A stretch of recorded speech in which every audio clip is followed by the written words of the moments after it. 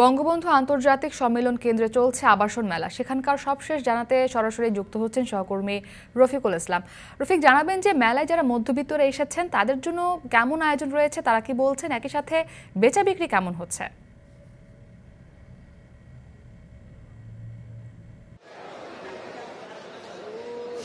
মুক্তি, ধন্যবাদ আপনাকে।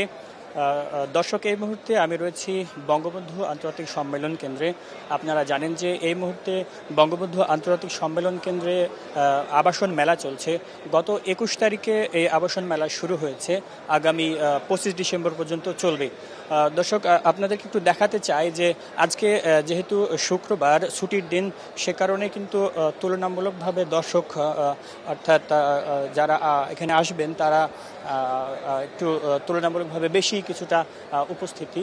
কিন্তু যেহেতু নামাজের একটা ব্যাপার রয়েছে আজকে, সে কারণে কিন্তু এখনও পর্যন্ত ওইভাবে মানুষ কিন্তু আসেনি। তারপর আমরা যতটুকু দেখতে পাচ্ছি যে মোটামুটি এসেছে, হয়তো দুপুরের পরে এই ভিড়টা আরও বাড়বে বলে আমরা আশা করছি।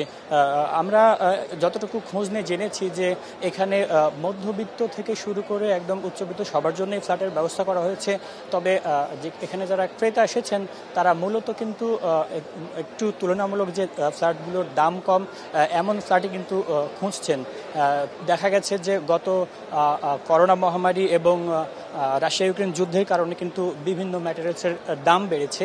যে কারণে কিন্তু ফ্ল্যাটের দামও তুলনামূলকভাবে বেড়ে গেছে গত কয়েক বছর তুলনায়। আমরা দেখেছি যে গত কয়েক বছর আগে যে ফ্ল্যাটগুলোর দাম ছিল ষাট থেকে সত্তর লাখ টাকার মতো, সেগুলোর দাম বেড়ে কিন্তু প্রায় এক কোটির উপরে চলে গেছে।